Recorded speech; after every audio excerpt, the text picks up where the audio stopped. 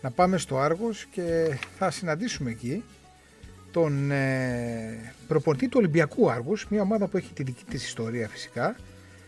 Ο Άκης Παπαδοπετράκης τα τελευταία χρόνια δίνει την ε, μάχη του εκεί, την προσπάθειά του για να μπορέσει να κρατηθεί η ζωντανή ομάδα μέσα από αυτό τον ε, κικαιώνα των προβλημάτων που αντιμετωπίζει όλο το αεραστεχνικό ποδόσφαιρο. Λέμε λοιπόν να πάμε να τον συναντήσουμε, να μας πει την ιστορία της ομάδας, να μας πει το σήμερα, να μας πει και το πώς ο ίδιος σκέφτεται και οι άνθρωποι του σωματείου φυσικά το αύριο και αν αυτό το αύριο θα είναι ε, μέσα σε επίπεδο πραγματικότητας, ουσίας και ευχάριστης νότας, δηλαδή αν θα υπάρχει αυτό το αύριο. Άκη, τι κάνεις; Καλησπέρα κύριε Αγγελίδη, τι κάνετε; Α, στον ελληνικό Άκη, γιατί δεν θα τα πάμε καλά. Ε, εντάξει Νίκο μου, καλησπέρα. Καταρχήν ε, μεγάλη τιμή πάνω απ' όλα για μένα, αλλά και για το ιστορικό σωματείο του Ολυμπιακού Άργους, για τη φιλοξενία σας ε, και στο μεγαλύτερο κανάλι της Ελλάδας. Απίστευτο μου φαίνεται και εμένα αυτό. Σας ευχαριστώ πάρα, πάρα πολύ μέσα στην καρδιά μου. Με μεγάλη μας χαρά. Και φαντάζομαι τώρα εγώ ένας δηλωμένος αεκτζή για να παρουσιάζω την ομάδα του Ολυμπιακού Άργους, πόσο καλή δουλειά γίνεται εκεί και πόσο ε, θέλει ο κόσμος να μάθει τι συμβαίνει και πώς είναι τα πράγματα. Θα ήθελα εδώ για ό,τι θέλω να σα πω για μένα, για τον Ολυμπιακό Άργου, για ό,τι νομίζετε. Ο Ολυμπιακός Άργου ε, καταρχήν. Ε, και είμαι σίγουρος ότι μας ακούνε πάρα, πάρα πολλοί φίλοι. Είναι ένα πολύ πολύ ιστορικό σωματείο γιατί έχει ιδρυθεί το 1954. Βάλε τώρα πόσα χρόνια, ε; Ναι, βέβαια. Εντάξει, 66 χρόνια, 67. Ε, ναι, ε, μισό αιώνα είναι. Ε, ε, ο Ολυμπιακός ε, είναι Εν γίνει αυτή τη στιγμή το δεύτερο πιο παλιό σωματείο στο Άργος, με τη μεγάλη μας ομάδα που, έχουμε εδώ στο Άργο, που έχουν εδώ στο, στο Άργος. Ε, γιατί εγώ ήρθα ξένος εδώ, να καταλάβεις. Τελείω ε, τυχαία, λόγω του ποδοσφαίρου στην αρχή ήρθα. Εγώ γεννήθηκα και μεγάλωσα, η γενέτειρά μου είναι η Πετρούπολη. Γεννήθηκα και μεγάλωσα, εκεί πανδρώθηκα και ποδοσφαιρικά πρωτού πάω φωστήρα κτλ. Και όταν ήρθα, η αλήθεια είναι ότι μου φαινόταν λίγο παράξενο που έβλεπα αεραστηνικά σωματεία να, να δρουν κάπως, πώς να σου πω τώρα, με, με ρόλους εδώ στην Αργολίδα τελείως πρωτόγνωρο για μένα που είχα συνηθίσει για την Αθήνα. Και μου έκανε έτσι προξένηξη το όνομα ε, του. Πώς το λες αυτό έτσι για να το καταλάβουμε; Θα σου πω ακριβώς ότι. Τρομερή αγάπη. Τρομερή αγάπη για τον αθλητισμό, τρομερή αγάπη από τα παιδιά.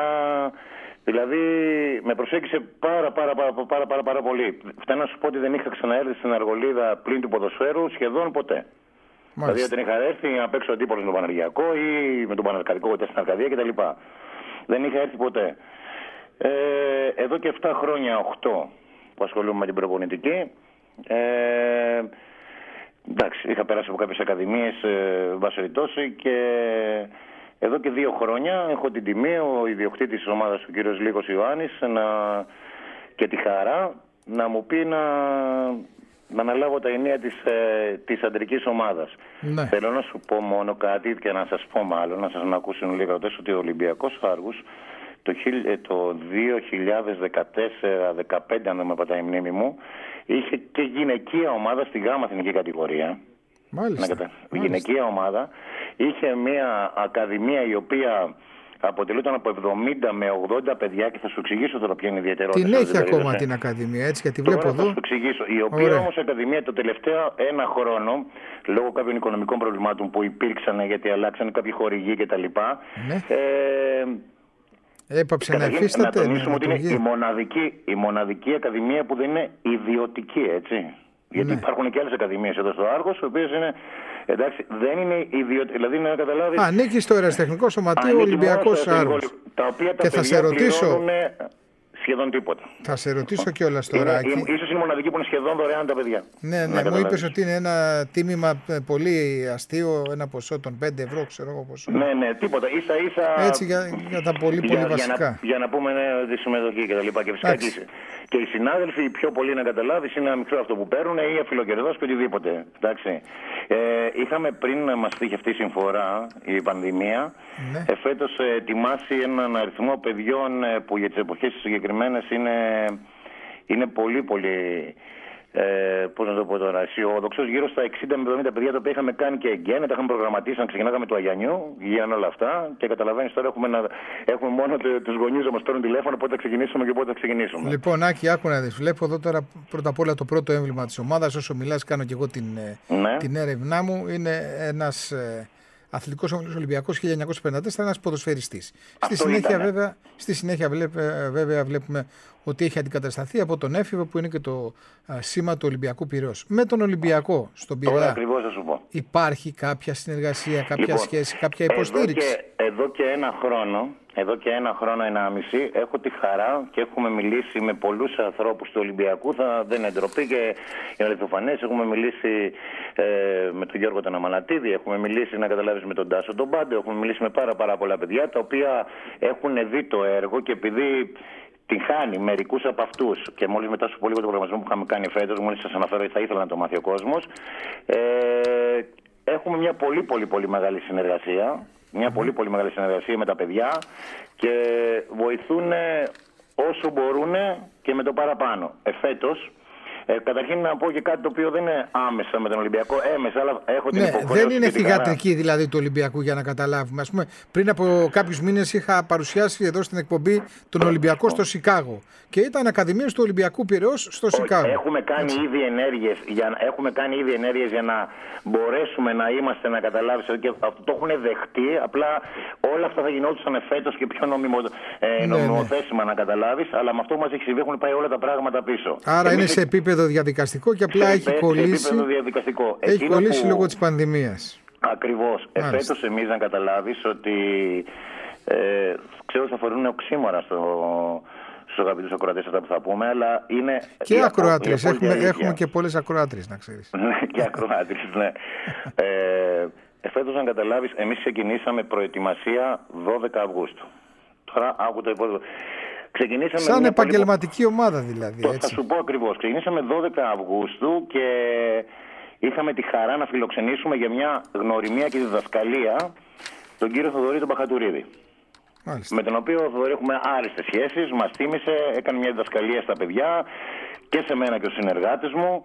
Ε, ε, και μετά, όσο και να φανεί αυτό που σου λέω, ξαναλέω οξύμορο, η ομάδα έκανε επαγγελματική προετοιμασία στο Σοφικό, στο, σε εγκαταστάσεις του Βεράνς, τα οποία όταν πήγαμε εκεί συναντήσαμε ε, την ΠαΕ Πανιόνιος με τον φίλο μου τον κύριο Δημήτρη τον Κοροπούλη, το οποίο θα γνωρίζεις φυσικά εσύ προσωπικά εσύ, και την Ακαδημία του Ολυμπιακού από τον Ταύρο, να καταλάβεις. Ήταν μέχρι και την ΚΑΠΑ 17. Μάλιστα. Όταν λοιπόν είπαμε εμείς ότι μέσα ε, στην αρχή ειλικρινά μας κοροϊδεύαν. Όταν είπαμε ότι είμαστε στην άλλη κατηγορία του τοπικού πρωταθλήματος, στην Α2 φυσικά φέτο, ε, δεν το πίστευε κανένας. Είμαι χαρούμενος ε, αν, ε, αν εξαιρέσουμε το θέμα, το κομμάτι το εραστεχνικό, είμαι χαρούμενος γιατί έχουμε καταφέρει μαζί ο, ο κυρίως ο ιδιοκτήτης της ομάδας, να καταλάβεις, ο κύριος Γιάννης Λίκος, αλλά και μαζί και με άριστους συνεργάτες, ο οποίους έχω πει είναι ε, άνθρωποι του ποδοσφαίρου, να καταλάβεις, δηλαδή ε, ένα πράγμα, όσο και να φανεί παράξενο, τα παιδιά να ζουν σε μια υγιή αθλητική ψευδέστηση ότι είναι σαν επαγγελματίες. Δηλαδή έχουμε ωράρια, έχουμε, ε, έχουμε έναν απίστευτο χορηγό, έναν απίστευτο χορηγό για τις συγκεκριμένες εποχές. Να καταλάβεις τον κύριο ε, Αντώνιο Κώστα. Ε, mm-hmm. Τι να σου πω τώρα, μέχρι κουστούμε αποστολή έχουν τα παιδιά. Ξέρω ότι αυτά φαίνονται κάπως αυτή τη στιγμή, αλλά μπορεί να τα δεις μέσα από, από υλικό και οτιδήποτε. Μέχρι κουστούμε μια αποστολή. Λοιπόν, δηλαδή... πάρε μια ανάσακη γιατί θα κάνουμε το εξής. Για να μάθει ο κόσμος για το ποδόσφαιρο της Αργολίδας. Τα πάντα. Να πούμε ότι το 1926 ιδρύθηκε ο ιστορικός Παναργιακός. Είναι τη μεγαλύτερη ομάδα που ελπίζουμε να τον ξαναδούμε στις μεγάλες κατηγορίες. Και υπάρχουν ε, ομάδες οι οποίες πρωταγωνιστούσαν στα πρώτα χρόνια εκτός από τον Ολυμπιακό που μας λες όπως ο Απόλλων Άργους, η ΑΕΚ Άργους, ο Αργέας, ο, Αργέας, ο Πρίτος Νέας Τύρινθας, η ΑΕΚ Ρανιδίου, ο Πρίτος, η Προσήμνη, ο, Πρίτος, ναι, ο Αργοναύτης κλπ. Ο Αργοναύτης ήταν και στη Δέλτα στην οποία ε, ήταν το τελευταίο σαν ποδοσφαιριστής που έπαιξα και εγώ. Και, ναι, να μην ξεχνάμε κιόλας και την πορεία και την παρουσία του Παναυπλιακού στα πρωταθλήματα, τα τοπικά κλπ. κλπ. Βεβαίως, ε, είναι ιστορικά σωματεία. Λοιπόν, πάμε να δούμε τώρα λίγο το κομμάτι το δικό σου. Να γυρίσουμε λίγο πίσω στο χρόνο, να μας μιλήσεις για την ποδοσφαιρική σου καριέρα, πού και πώς ανδρώθηκες ποδοσφαιρικά και στη συνέχεια τι ήταν αυτό ως έρισμα που σου έφτιαξε τη διάθεση και λες ωραία δεν τα παρατάω, θα ασχοληθώ ακόμα με το ποδόσφαιρο ως προπονητής. Καταρχήν, καταρχήν να σου πω κάτι. Ε, γεννήθηκα και μεγάλωσα, γεννήθηκα και μεγάλωσα στην Πετρούπολη με πατέρα τεσσάρων παιδιών. Να σου ζήσουν φυσικά. Να σε καλά. Έχω μια κόρη μεγάλη, την οποία μεγάλωσε με τη μαμά της στην Αθήνα, να καταλάβεις, η οποία τελείωσε ε, στα στεφά ευρωστία και υγεία και τώρα είναι διδάκτορ, ε, υποψήφια διδάκτορ ιατρικής για την επίδραση της άσκηση στον καρκίνο. Συγγνώμη που τα λέω αυτά, αλλά αφού με ρώτησες και σε ευχαριστώ πάρα πολύ. Ναι, ναι, ναι, βέβαια. Ο γιος μου, ο Είναι δεύτερος, ενδιαφέρον. πέρασε φέτος στο Οικονομικό Καποδοσιακό Πανεπιστήμιο Αθηνών. Ο άλλος δίνει, ο δεύτερος δίνει δύο γρήγορα κορίτσα. Ο τρίτος ε, ε, δίνει φέτος Πανελλήνιες και έχω και τη μικρούλα μου, να καταλάβει, η οποία πάει έκτη δημοτικού και δυστυχώς θα μεγαλώνω μόνος μου στα παιδιά, γιατί εδώ και λίγο καιρό έχω χάσει στα 38 της χρόνια τη σύζυγό μου από καρκίνο. Κρίμα, πολύ κρίμα. Ε, Καταλαβαίνεις λοιπόν ότι. Που θέλω Μέσα να σε όλα καταλήξω. κάνεις είσαι και μόνος σου, δίνεις το δικό σου αγώνα Καταλαβαίνεις, να λοιπόν. μεγαλώσεις τα παιδιά Τώρα και τι έχει και σχέση την έχουν τρέλα αυτά. με το δεν ποδόσφαιρο. πιστεύω ότι ε, δεν ξέρω μετά το Θεό και την οικογένειά μου ε, δεν μπορώ να, να πιστέψω κάτι άλλο που να αγαπάω πιο πολύ από το ποδόσφαιρο στη ζωή μου. Ειλικρινά σου μιλάω και ευχαριστώ Ωραία Ωραία όλους τα του λες. δικού μου δημόσια, δηλαδή τη μητέρα μου, τον αδερφό μου, τον μικρό, τα παιδιά μου που μου ανέχονται, τους συνεργάτες μου στην πρωινή δουλειά, γιατί είμαι στον κύριο Αντιδήμαρχο να καταλάβεις της πόλης, να καταλάβεις και Ναι, συνεργάτης. ναι, ναι, κατάλαβα. Κάτι και Όλη δουλεύει. τη- Έχεις και όλη τα τη μέρα παιδιά δουλεύει το ποδόσφαιρο. Αυτό σου και λέω το μόνο. Όλη τη ποδόσφαιρο. μέρα, όλη τη μέρα δουλεύει το ποδόσφαιρο. Λοιπόν, ξεκίνησα στα 14, 13 μου χρόνια στην αναγέννηση Πετρουπόλεως, την οποία θα γνωρίζεις, ίσως έχεις ακούσει κτλ. Ε, βέβαια. Και μετά από κάποια γνωριμία με πήγανε στο βαλιτό στην Παιανία, στον Παναθηναϊκό. Εκεί λοιπόν ήταν ο κύριος Είσαι Παπας- Παναθηναϊκός πρώτα απ' όλα. Ε, Δεν μπορούμε να το πούμε αυτό τώρα για να μας κυνηγήσουν. Στον Ολυμπιακό Άργο να λέμε ότι είσαι Παναθηναϊκός. Είμαι, αγαπάω πολύ τον Ολυμπιακό, αλλά στην καρδιά μου έχω μέσα και τον Άρη. Α. Είμαι Ολυμπιακός, αλλά στην καρδιά μου λόγω ότι έχω παίξει στον Άρη Αθηνών και τα λοιπά και από τότε που έγιναν και ένα σώματιο με τον Άρη Θεσσαλονίκη, έχω στην καρδιά μου και τον Άρη. Μάλιστα. Ε, ε, πήγα, λοιπόν στον, Πα- πήγα λοιπόν στον Παναθηναϊκό. Ήταν αρχηγός, δεν ξέρω αν ελπίζω να είναι εν ζωή ακόμα ο άνθρωπος, γιατί εσύ θα τον γνωρίζει σίγουρα, ο κύριος Γιάννης ο Παπασταύρου. Τότε σε, σε όλες τις ακαδημίες του Παναθηναϊκού. Ναι. Ε, είχα τη χαρά να με θέλουν, αλλά λόγω κάποιου προβλήματος, γιατί μεγάλωνα μόνο με τη μητέρα μου, δεν μπορούσα να πάω. Και στα 15 μου χρόνια βρέθηκα στον ιστορικό Άρη Αθηνών Πετρούπολης Ο Γιάννης ο Παπασταύρου έχει φύγει από τη ζωή το 2013. Το επιβεβαίωσα, το θυμόμουν, αλλά ήθελα Είδες να που σου είμαι λέω. σίγουρος γι' Δεν αυτό. το δεν ξέρω και εγώ αν ζούσε αυτό σου λέω. Πού να το ξέρω, αυτό σου λέω, γιατί τότε ήταν μεγάλος άνθρωπος. Μετά λοιπόν ε, ε, ήρθα, στο, ήρθα στον Άρη και είχα τη χαρά, τη χαρά να έχω πολύ πολύ μεγάλους προπονητές στην ιστορική ομάδα. Ήμουν ο πιο μικρός ποδοσφαιριστή 15 χρόνων που έκανα ντεμπούτο να καταλάβεις. Σε ένα 5-2 που χάσαμε νομίζω με την Πεύκη. Δεν θυμάμαι κάτι τέτοιο. Στα 15 μου. Και είχα προπονητή τον κύριο Γιάννη τον Ντομάρα που έχει παίξει στο Wembley. Εκ των υστέρων, εντάξει, τι να σου πω τώρα. Είχα τον κύριο Τόσκα, τον κύριο Αγγελόπουλο από τον Παναθηναϊκό. Πολύ μεγάλους προπονητές. Μάλιστα. Τι θέση έπαιζες; Ε, τερματοφύλακας, τερματοφύλακας. Α, μπράβο. Είχα ένα πέρασμα. Υπάρχουν, λοιπόν, υπάρχουν άκοι μου τερματοφύλακες τώρα στην Ελλάδα; Ε, έχουμε αρχίσει και ανησυχούμε. Λέμε, ε, δεν κοίτα, υπάρχουν δεν- προπονητές, δεν υπάρχουν τερματοφύλακες, Δεν το δεν πιστεύω. υπάρχουν κεντρικοί αμυντικοί. Υπάρχουν τερματοφύλακες καλοί στην Ελλάδα. Εγώ πιστεύω ότι υπάρχουν πάρα πολλά γενικά ταλέντα και πολύ πολύ καλοί τερματοφύλακες. Τώρα εδώ θα πάμε να δείξουμε ένα κεφάλαιο και θα μου επιτρέψει, εδώ νιώθω περήφανος. Ε, στα πρώτα προπονητικά μου βήματα ήμουνα σε μια ακαδημία και τον ευχαριστώ πολύ του κ. Μποζιονέλου, ιστορική ιδιωτική ακαδημία. Και έχω βάλει ένα λιθαράκι, αυτό μπορεί να, να ρωτήσεις και τον ίδιο, ένας από τους κατά τη γνώμη μου καλύτερου Έλληνε τερματοφύλακε που είναι από εδώ και έχει περάσει από τα χέρια μου είναι ο Ηλίας ο Καραργύρης, ο οποίος ήταν ε, από εδώ δικό μας παιδί, είναι δικό μας παιδί, ο οποίος είναι στον Ολυμπιακό. Είναι ένα πολύ μεγάλο ταλέντο. Ναι. Ίσως, ίσως να μην το ξέρεις όσο να το Τι άκουσε ο Ηλίας. γίνεται, τι γίνεται όμως και αυτά τα ταλέντα που υπάρχουν στη συγκεκριμένη αυτή θέση που είναι πάρα πολύ Ναι. σπουδαία και την ξέρεις και καλά την έχεις παίξει και δεν αναδεικνύονται. Είναι ίσως ο τρόπος με τον οποίο προπονούνται οι τερματοφύλακες εδώ στην Ελλάδα. Έχουμε έλλειψη σε ό,τι αφορά συγκριτικά με το πώς προπονούνται οι τερματοφύλακες στο Νίκο, εσωτερικό; πιστεύω, πιστεύω ότι τη σημερινή εποχή υπάρχουν πολύ καλοί προπονητές τερματοφυλάκων, πολύ, καλοί, πολύ καλύτεροι από ό,τι υπήρχαν σε εμάς. Εγώ θυμάμαι ότι εμείς γυμναζόμασταν με ένα γυμναστή, με τον παλιό παίκτη της ομάδας. Ε, Παλιά φέραμε από το εξωτερικό τερ- αυτό, οι γυμναστές τερματοφυλάκων για να ε, κάνουν έτσι προηγμένα, προηγμένες ασκήσεις και τεχνικές. Έχω, κοίταξε, έχουμε γενικά μια ξενόφερτη μανία. Έχουμε γενικά μια ξενόφερτη μανία. Έχω Θα ήθελα να σου το πω ότι εγώ πιστεύω γενικά πολύ στον Έλληνα προπονητή. Πιστεύω στον Έλληνα ποδοσφαιριστή. Είμαι γενικά φιλέλληνα πολύ, χωρίς να υποτιμώ προς Ναι, αλλά ο Έλληνας προπονητής τώρα βλέπουμε στην, ε, στη δική μας, ας πούμε, στη μεγάλη κατηγορία Super League. Ότι υπάρχουν ελάχιστοι. Είναι λίγοι, ρε παιδί μου. Και ε, μετά, όταν τους δίνεται ευκαιρία να πάμε σε μία από τις αποκαλούμενες μεγάλες ομάδες. Απόλυτο σωστό. Κάπου εκεί χάνεται, ας πούμε. Έτσι. Έχουμε όμως αναρωτηθεί αν στους Έλληνες δίνουν τον παναπετούμενο χρόνο που δίνουν σε ένα ξένο παραπάνω. Ε, γιατί στον ξένο δίνουνε. Εδώ στην Ελλάδα θέλουν να γίνουν τα θαύματα σε τρεις μήνες μέσα. ναι, Χτίζουμε ομάδα, λέει σε τρεις μήνες. Τελείωσε. Έχουμε κάνει ομαδάρα. Άμα δεν τη κτίσει, σήκω φύγε. Και πάει λέγοντας αυτό. Και επί πέντε χρόνια αλλάζει προπονητές στα πουκάμισα και η ομάδα που λέει όταν χτίζεις δεν χτίζεται ποτέ. Όπως το λες, είναι μεγάλη ιστορία αυτό. Πάντως, εγώ σε αυτό που με ρώτησες, εγώ πιστεύω ότι έχουμε πολύ μεγάλα ταλέντα. Έχουμε πολύ καλούς προπονητές και πιστεύω ότι με τις γνώσεις που αποκτούμε, γιατί εγώ μαθαίνω ακόμα και οτιδήποτε και θα μαθα... ο κάθε άνθρωπος θα μαθαίνει μέχρι όσο ασχολείται, με τις γνώσεις που αποκτούμε πλέον, τα παιδιά γίνονται πολύ, πολύ πιο εξειδικευμένα. Όσο μπορούμε φυσικά να τα έχουμε κοντά, έτσι, στο ποδόσφαιρο, στον αθλητισμό, αλλά πιστεύω ότι υπάρχουν πολύ μεγάλα ταλέντα στην Ελλάδα. Και πολύ καλύτερα με το φύλακες. Ήδη πιστεύω ότι και στην άλλη εθνική υπάρχουν Δηλαδή τώρα γιατί μιλάμε όλοι Για πες μου, για πες μου, έχεις ξεχωρίσει, πες μου ένα-δυο ονόματα. Έλληνες. Ναι, Έλληνες. Ε, εντάξει, από αυτούς που παίρνουν στην άλλη εθνική, εντάξει, πιστεύω ότι άξια είναι εκεί που είναι ο Οδυσσέας. Εντάξει, ο Σοκράτης, ο Ποδιούδης πιστεύω ότι είναι Μιλάω τώρα για πιο φτασμένο στον οποίο ναι, ναι, ναι, έκανε, μια, έκανε μια επανάκαμψη και μια αλματώδη ε, πορεία ο Διούδης. Εντάξει, πιστεύω ότι δηλαδή έχει κάνει μια... φέτος ότι αναβισβήτητα εφέτο είναι η χρονιά του, ότι είναι πάρα πολύ καλός. Εντάξει, ο Οδυσσέας σου είπα και πριν.